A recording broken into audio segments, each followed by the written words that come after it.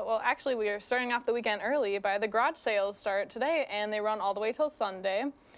And if you want to sell any stuff, I hope you already have a permit because you got to get one of those. But if you want to go buy some stuff, it's open all weekend. And there's also Junk Nanza happening this Saturday at the Breeze from 9 a.m. to 3 p.m., which is another way if you do not have a permit to sell garage sale stuff, you can bring your stuff and buy a table there.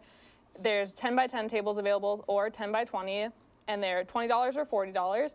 And you can also go there to buy any kind of junk, goodies, baubles, basically anything that you would find at a garage sale, you could buy over here instead, all in one location. And it's hosted by the Enid Event Center. There's also food trucks and cold bev- beverages available, and there will be a prize for the best decorated space.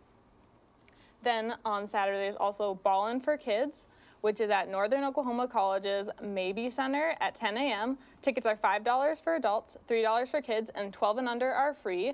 Our very own EPD and EFD, the fire department and the police department, will be playing each other starting at 10 a.m. Also, Enid Elite's coaches and parents will also be playing that day too. It's a round robin tournament. There'll be raffle, prizes, contests, concessions, and all the proceeds will be going to the Booker T. Washington Community Center where the Enid Elite practices.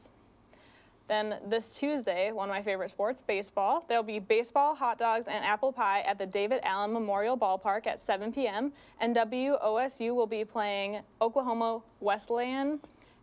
There'll be free hot dogs, apple pie, and drinks, and there'll be giveaways throughout the event. The first 50 kids get free t-shirts, so that's always very fun.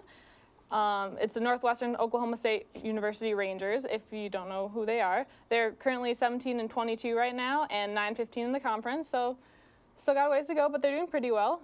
And the tickets are $7 for adults, $5 for students, and then 12 and under are free and military are free. So if you're looking for baseball, basketball, or garage sales, this is definitely your weekend, and that's what's happening.